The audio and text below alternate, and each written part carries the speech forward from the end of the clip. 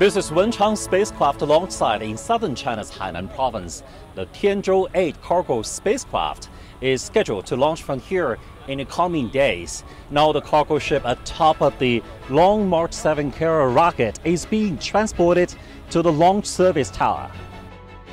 Despite the impact of the super typhoon in September, the facilities and equipment at the launch site are in good condition now representatives from all working systems came to escort the flight combination to the launch area.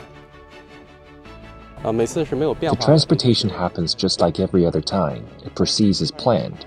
Before this, we tested it in the technical building and carried out system debugging, including waterproofing it against the high humidity and high salt spray in Hainan.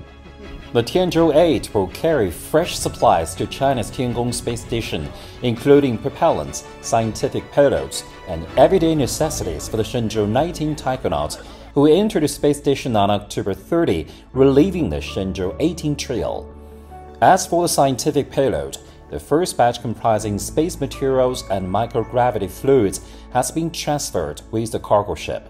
The second is on live experiments, including the first live fruit fly aboard the space station, which will be sending to the cargo ship right before launch. At present, we have completed two full process drills in sample preparation and loading. We're carrying out intense sample preparation to ensure the safety of the final samples to be sent to the space station and ensure complete success. After the transportation, various pre-launch function checks and joint tests will be carried out as planned. Zheng Yibing, CGTN, at Wenchang spacecraft launch site in Hainan province.